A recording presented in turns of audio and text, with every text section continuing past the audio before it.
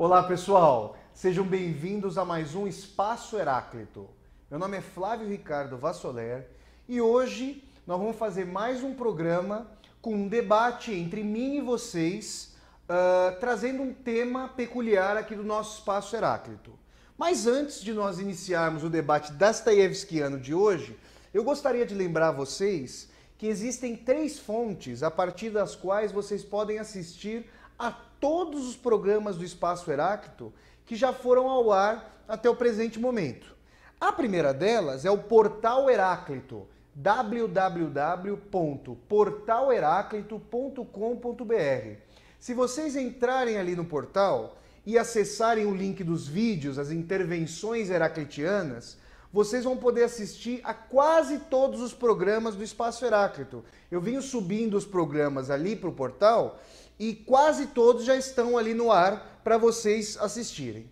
A segunda fonte é justamente a TV UOL, que é vinculada à nossa TV Geração Z, a emissora pela qual o Espaço Heráclito vem ao ar. Todos os programas do Espaço Heráclito estão disponíveis ali na TV UOL. Então, se vocês colocarem Espaço Heráclito TV UOL, vocês conseguem acessar o link da página onde estão armazenados os programas. Ou vocês também podem colocar o meu nome, Flávio Ricardo Vassoler, junto com TV UOL, e aí vocês têm acesso aos programas anteriores do Espaço Heráclito. A terceira fonte de programas uh, do Espaço Heráclito é justamente o YouTube. Se vocês entrarem ali no YouTube e digitarem Espaço Heráclito, vocês também vão ter acesso a quase todos os programas. Eu espero, entre essa semana e a próxima, fazer a atualização de modo que, em tempo real, semana a semana, vocês possam acompanhar. Quem, por um acaso, perder um determinado programa ao vivo, vai poder acompanhar os programas anteriores por essas três fontes. Tudo bem, gente? Então tá bom. Hoje, pessoal, a gente vai falar de maneira mais pormenorizada sobre um escritor, um escritor filósofo, eu diria, que ronda o espaço Heráclito desde o início do nosso programa em setembro de 2013, setembro do ano passado, que é justamente o escritor russo Fyodor Mikhailovich Dostoevsky. Eu estudo Dostoevsky há muitos anos, fiz pesquisa de iniciação científica, depois desenvolvi minha pesquisa de mestrado e agora estou em vez de terminar minha pesquisa de doutorado ali na Faculdade de Letras da USP sobre Dostoiévski. Vivi entre os anos de 2008 e 2009 em Moscou para poder aprofundar o aprendizado da língua russa e uh, buscar fontes ali nos arquivos russos, nas bibliotecas, na universidade onde eu estudei, sobre o Dostoiévski. E hoje eu gostaria de trazer um debate, um tema, uh, para nós conversarmos aqui no Espaço Heráclito, que é algo um pouco distoante na obra de Dostoiévski, que é o tema Dostoiévski e o sonho de um homem ridículo, Dostoiévski e a redenção, e a possibilidade de redenção. Quem está familiarizado com a obra de Dostoiévski, que aqui eu faço uma breve contextualização, Dostoiévski viveu no século XIX, nasceu em Moscou, uh, faleceu em São Petersburgo, nasceu no ano mil, de 1821, morreu em 1881, viveu 60 anos, portanto, uma vida breve, bom, se bem que para os padrões da época era até uma vida longeva, e uh, acometido por um, um, rompimento da artéria pulmonar, uma morte inclusive dolorosa. Ele tem uma história peculiar, ele estava escrevendo, já ao fim da vida ele escrevia, uh, trabalhava por mais de 10 horas a cada dia, uma caneta havia caído no chão, ele foi uh, se abaixar para pegá-la e supostamente começou a ver sangramento nasal. Ele depois foi dormir e acordou no outro no dia seguinte com uma grande hemorragia e a morte foi prosseguindo até que ele de fato é, é, viesse, viesse a falecer. Ele viveu num período extremamente efervescente uh, na Rússia de maneira peculiar porque ele participou de todos os debates fundamentais da geração chamada ali a inteligência, os intelectuais russos, que antecedeu a geração do Lenin, do Trotsky, do Stalin, que faria ali, que, geração que faria ali em 1917 a Revolução Russa. A inteligência da qual Dostoiévski uh, fez parte, primeiramente ao, em fins da década de 40, de 1840, como revolucionário, tendo sido preso pelo czar, uh, por ter feito parte de um círculo revolucionário, o círculo de Petrashevsky, condenado à morte. E no último minuto teve a sentença comutada pelo Tsar, sentença que então viria a ser transformada em longos anos de trabalho forçado na Sibéria. Dostoiévski depois retorna, tem toda uma experiência de reconfiguração, reconfiguração das suas apercepções ideológicas e históricas ali no, no, naquilo, naquele que viria a ser conhecido e imortalizado, o presídio, como a Casa dos Mortos, na Sibéria. Dostoiévski escreveria um livro em 1862, um livro chamado Recordações da Casa dos Mortos, que narraria as experiências ali uh, de prisioneiro forçado na Sibéria. Mas muito bem, aqui o tema sobre o qual uh, eu quero falar com vocês traz justamente um debate fundamental de Dostoiévski com essa inteligência revolucionária que queria suplantar não apenas o regime czarista na Rússia, mas também estabelecer uma república socialista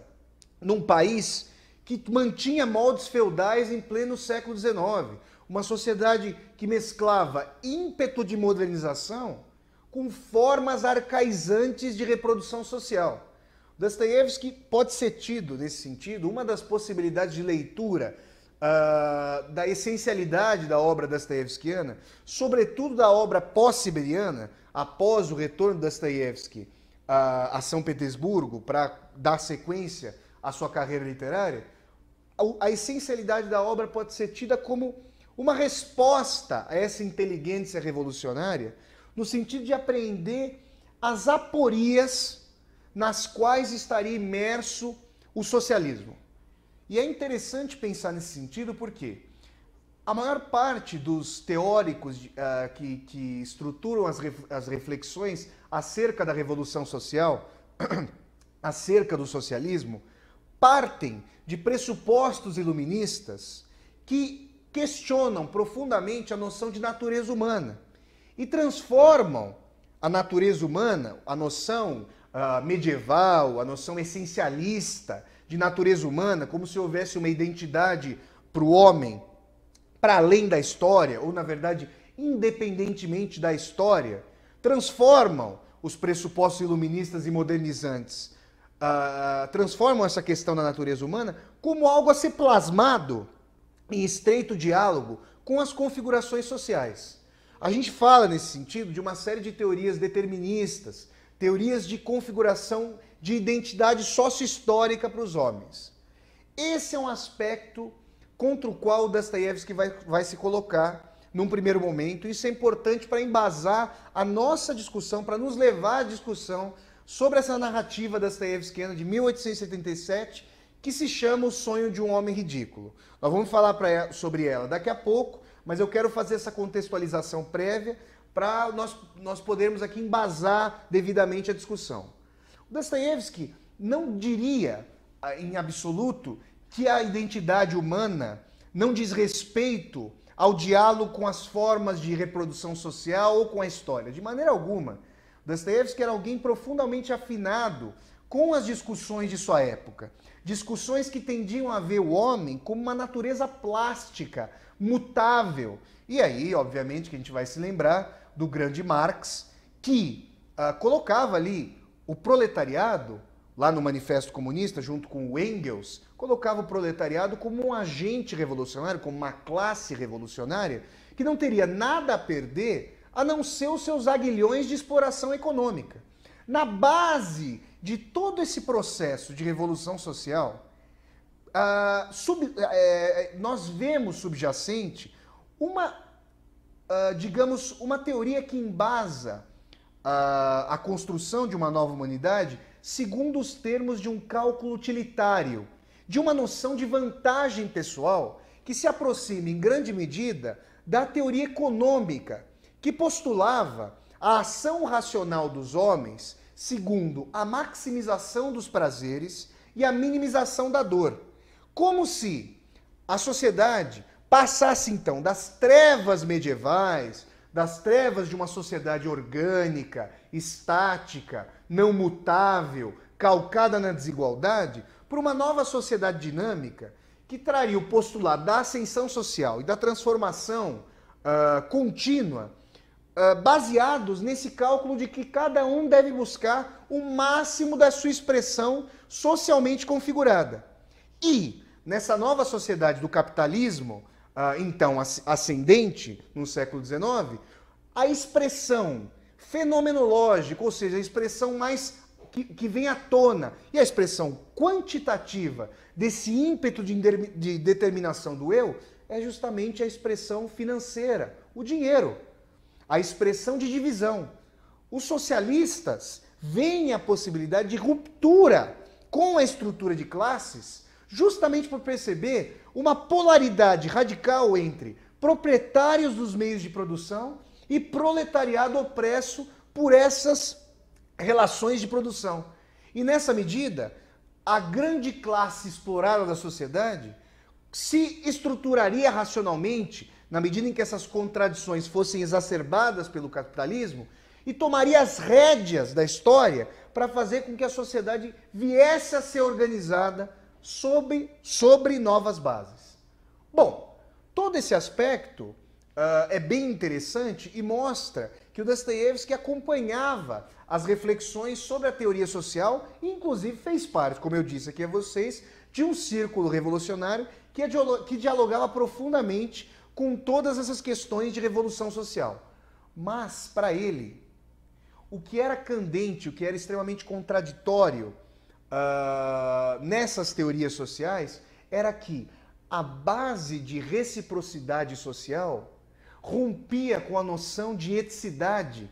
calcada em Deus, ou seja, em uma noção de transcendência. O Dostoiévski lançando mão de um método de raciocínio muito peculiar que fazia com que uma ideia fosse levada às últimas consequências, não via, diferentemente dos otimistas mais, mais próximos à revolução social, embriagados em grande medida pela, pelo ímpeto de transformação no bojo do capitalismo, o Dostoiévski não via esse ímpeto de agregação e coesão de grupo que os socialistas viam na consciência de classe dos proletários. Na verdade, o Dostoiévski tendia a ver rente a uma, psicolo a uma psicologia social refinada, rente a observação empírica e processual da história, que ao invés de apresentar o movimento da razão rumo à sua expressão em termos de sociedade justa, via, na verdade, um monte de contradições na, uh, no devir da história. Contradições que faziam com que o apogeu da razão fosse, no mínimo, questionado. E mais, além de questionar esse ápice de uma razão linearmente configurada ou configurada teleologicamente de maneira estrita, ou seja, com uma finalidade estrita para a emancipação humana, Dostoiévski tendia a pensar em um ímpeto desagregador que esse novo cálculo utilitário estruturador do capitalismo tenderia a trazer para a sociedade. O que é que faria que esse, ah, com que esse indivíduo, liberto das novas relações, questionador de toda a tradição, sem que uh, pensasse em uma transcendência da alma para refrear os seus desejos e mais, para sentir que o outro é parte da sua configuração social, é parte da sua identidade. O que faria com que esse indivíduo, arremessado na guerra de todos contra todos do capitalismo, refreasse o seu ímpeto de maximização dos próprios prazeres para conviver pacífica e harmonicamente com o outro numa nova sociedade justa? Dostoiévski olha para a história e vê isso é um ideal nobre e que condiz em grande medida com a meta do cristianismo se houver a conjuminação, a ligação desse ideal de Éden terrestre com uma configuração de eternidade. Se a eternidade, se a possibilidade de o homem cicatrizar o seu espírito, cicatrizar suas mazelas, for sustada e for entregue apenas a uma existência, apenas a uma vida, ou seja, se for abolida a noção de Deus, Dostoevsky se torna então um crítico contumaz e evidente das contradições e que poderia se enredar essa modernidade capitalista que se cinde de qualquer ética transcendente para se voltar ao instante já, ao presente e essa maximização. Dostoiévski uh, ilustrou essa ruptura com Deus, essa ruptura com a transcendência e as contradições éticas, ou, no limite, nihilistas, amorais, sem qualquer substrato de ação, uh, ao longo de suas obras. A gente pode falar aqui, por exemplo, da, da, desse uh, grande romance, que é talvez seja a obra mais lida do Dostoiévski, e é uma grande porta de entrada para sua obra, que é o, o, o romance Crime e Castigo, de 1866, em que o protagonista, uh, o ex-estudante de direito Raskolnikov, uh, faz um cálculo que, no, uh, no momento pré-modernidade, em que as diferenças são assentadas com naturalidade, esse cálculo pertenceria, por exemplo, a um Júlio César, a alguém que é, entre aspas, naturalmente superior às suas tropas, às suas coortes, a, a, a, plebe romana, alguém a quem a, a grandeza pertence de maneira natural. E é por essa natureza, obviamente, eu chamo a percepção histórica da diferença, a noção de que os seres humanos seriam, naquele momento o eram, desiguais por natureza pelos fatores de distinção social. Mas o Raskolnikov, que pertence já a um contexto de questionamento dos estamentos estáticos da sociedade, ou seja, que já pertence ao contexto de efervescência e possibilidade de ascensão social, se não na prática para todos, ao menos como ideia de ascensão da personalidade ao novo extrato e de afirmação mediante dinheiro das, dos próprios desejos para a maximização dos prazeres pessoais, Raskolnikov então faz um cálculo que antes pertenceria a Napoleão, ao conquistador. Se eu ex-estudante de direito, porque não tenho mais possibilidade de me manter na Faculdade de Direito de São Petersburgo, porque me falta justamente a solvência, dado que eu venho de uma família pobre, e se eu tenho que empenhar objetos por uma usurária chamada Leona Ivanovna, que não tem função alguma na humanidade, senão explorar os demais, porque eu não posso abstrair a vida de Aliona Ivanovna, ou seja, assassiná-la, para uh, realizar o meu plano de, primeiro, transformação da minha própria condição com vistas ao estabelecimento de uma nova humanidade. A metáfora Dostoiévskiana é importante. Por quê? Raskolnikov, inserido nessa lógica robesiana da guerra de todos contra todos, na lógica de maximização das satisfações pessoais, de socialização de um contra os demais, lança a mão, no limite, nessa lógica escatológica de Dostoiévski, que leva as ideias às suas últimas consequências, percebe, nesse sentido, que a possibilidade de estabelecimento de si passa pela derrocada do outro. E no caso, o que poderia fazer com que ele, Raskolnikov, respeitasse a vida de Aliona Ivanovna? O que poderia fazer com que houvesse empatia, ou seja, um patos conjunto, algo como um respeito, uma vinculação, ou a lógica do amor entre ele e a Leona Ivanovna? Nós não vivemos em uh, cidades, em sociedades anônimas, no sentido de que não nos conhecemos, no sentido de que um mero esbarrão na rua gera rostos transfigurados que mostram se forem analisados, levando-os às últimas consequências, esse mesmo rancor e ódio pelo outro, uh, do qual o Raskolnikov lança a mão? É esse sentido que faz com que o Dostoiévski, por meio de, de um questionamento psicológico existencial, veja as aporias que se, contra, se, se contraporiam a essa nova sociedade calcada pela solidariedade uh, pela solidariedade socialista. Dostoiévski observa que essa nova sociedade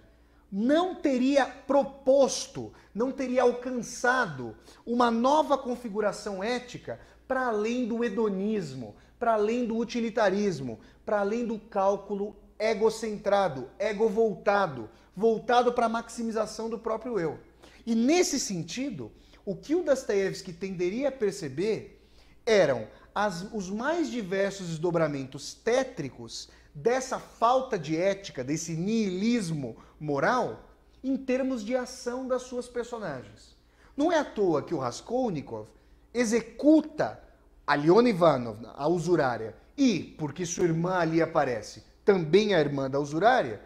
para saber se seria possível ultrapassar o decálogo de Moisés, ou seja, o não matarás. As demais personagens, de O Idiota, de Os Demônios, dos Irmãos Karamazov, também podem ser vistas como estilhaçamentos desse mesmo princípio. Ali nos Demônios nós temos Nikolai Stavrogin, que seria o super-homem revolucionário, que é um pedófilo. Nós temos Ragojin em O Idiota, que é um assassino. Nós temos Ivan Karamazov Smirdiakov nos Irmãos Karamazov, que são parricidas, que, simbolicamente, não apenas são homicidas, como matam a figura do pai e, uh, metaforicamente, a figura do Deus Pai. Todo esse arcabouço de reflexão é fundamental para nós nos aproximarmos de uma obra dostoievskiana que traz um sentido, eu diria, agônico, de agonia em seu princípio, mas que depois transfigura esse sentido para uma tentativa de movimento da redenção. Porque o Dostoiévski, pessoal, em grande medida pode ser lido como um escritor que faz a escavação dessa modernidade, das aporias dessa modernidade, das contradições dessa modernidade, em meio ao mundo que matou Deus, que fez com que Deus fosse relegado ao subsolo da história. E subsolo aqui, para os leitores de Dostoiévski, remete às Memórias do Subsolo, esse grande livro dostoiévskiano, escrito em 1864. Postas essas questões, a gente chega aqui à, à, à entrada de O Sonho de um Homem Ridículo. Por quê? Porque um dos princípios que o Dostoiévski percebe da autofagia da modernidade, ou seja, da modernidade posta como niilismo moral, como vacuidade dos valores, como completo nada, é não apenas a morte do outro, o desprezo pelo outro, a, a violência contra o outro, mas também a violência contra si mesma. E quando essa violência é levada às últimas consequências, nós estamos diante do quê? Diante do suicídio. E isso é importante. O Dostoiévski percebe que, em meio a uma sociedade que historicamente se desenvolveu de maneira contraditória, ou seja, que por um lado se desenvolveu por desigualdade, uh, pilhagens, uh, submissão do outro, escravidão do outro, também procurou uh, calcar valores. Por exemplo, aqui no Ocidente, os Dez Mandamentos, ou a tentativa de a igreja, que trouxe a violência para si em grande medida, com o Tribunal da Santa Inquisição, mas ao mesmo tempo tentou abrandar os costumes e, trazer, e apaziguar os hábitos de uh, morte, de revanchismo, uh, proscrevendo a noção de violência no trato entre as pessoas a partir do Sermão da Montanha de Cristo. Dostoiévski percebe que a mutilação do outro implica também um movimento de automutilação, dado que, quando eu digo que eu me chamo Flávio, eu primeiro fui chamado de Flávio. Ou seja, a minha identidade é consubstanciada por toda uma mediação, no caso moderno, da minha família, família que vem se transformando hoje. Mas, ou seja, cada um de nós tem na sua constituição a mediação do outro. O Dostoiévski percebeu de maneira extremamente refinada que a violência ao outro implica também um movimento de autoviolência. E sobre isso, então, a gente vai falar de maneira, de maneira bem mais pormenorizada, com a discussão em relação ao sonho de homem ridículo no segundo bloco, no segundo bloco aqui do nosso espaço Heráclito. A gente faz um rápido intervalo e voltamos daqui a pouquinho, pessoal.